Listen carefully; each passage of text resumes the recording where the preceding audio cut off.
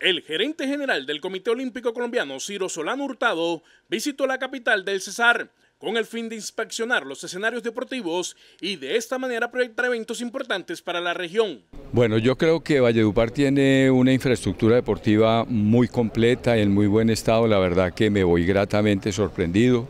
y pensando en la posibilidad de que Valledupar presente su candidatura para hacerse de los Juegos Bolivarianos del 2021, creo que tienen con qué hacer una propuesta muy competitiva y desde luego terminando las